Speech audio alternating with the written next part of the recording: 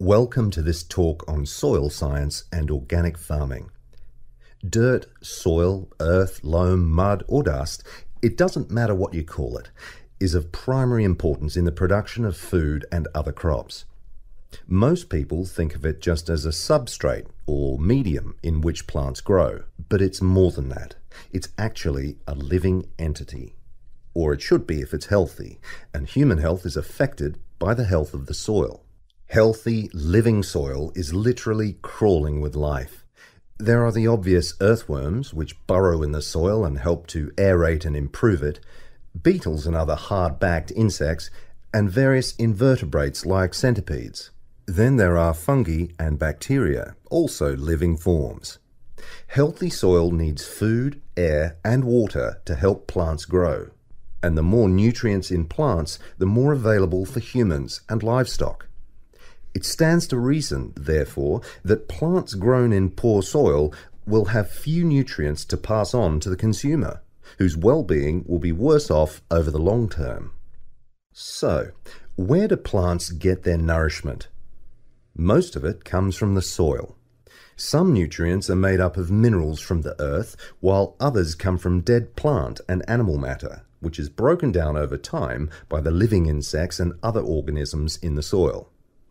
Plants depend on these little living creatures to convert minerals and other vital elements into a utilizable form that can be taken up by the plants and it's a synergistic relationship. In turn, the plants assist those helpful organisms by releasing sugars and enzymes back into the soil. Before I go any further, let's take a look at the structure of soil. Now, if you look at the diagram, you'll see that soil is made up of many different layers. Let's start at the bottom. This is the bedrock under all the other layers. The layer above that is called regolith. Here, the bedrock is slightly broken up, but plant roots don't penetrate this layer. Moving up the chart to the next layer, we come to the subsoil, which contains clay and mineral deposits. On top of that is the eluviation or leaching layer. This is quite light in colour and is mostly just sand and silt.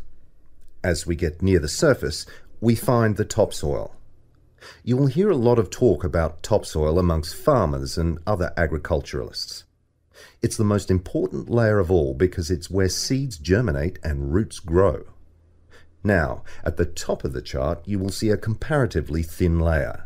This is organic matter that is still in the process of decomposition. It mostly consists of leaf litter and humus. Just think of the surface of the forest floor, partly decayed leaves and twigs, that sort of thing. As you can imagine, good soil forms very slowly over time, but it can be lost very rapidly through erosion. And, in addition, soil quality can be affected by pollution due to anything from industrial waste to the artificial fertilizers used by conventional farmers, which have been shown to suppress the diverse life forms in the soil. This is why organic agriculture is the way of the future. Let's take a quick look at the conventional system, which is often based on monoculture, the production of a single large crop. It relies on chemicals for fertilizer and pest control. It is also becoming an increasingly common practice to use genetically engineered seeds. And more chemicals are used to control insects and fungi which attack crops in storage and during transportation. Also, did you know that there is no requirement for conventional growers to maintain records of their production practices? Organic growers, on the other hand, choose the most environmentally friendly options for dealing with pests and disease problems, working towards prevention in the first place. Some of the strategies they employ include alternating the crops grown in each field, as opposed to monocropping. Because different plants add different nutrients to the soil by rotating crops, the soil is naturally replenished. This can do away with the need for pesticides, because the problem insects' life cycles are naturally interrupted. Surrounding crops with green waste can not only conserve moisture in the soil, but it can prevent weeds from springing up and it also feeds the beneficial microorganisms. When it's ploughed under, it feeds the soil by building more organic matter. Organic farmers often release beneficial insects as predators, which precludes the need for artificial pesticides. animal manure combined with green waste materials correctly composted to kill pathogens and weed seeds fertilizes the soil in a way that encourages life rather than suppressing it. And, by the way, use of manure in organic farming is highly regulated. In fact, all agricultural inputs are evaluated for their long term effects on the environment, regardless of whether they are synthetic or natural.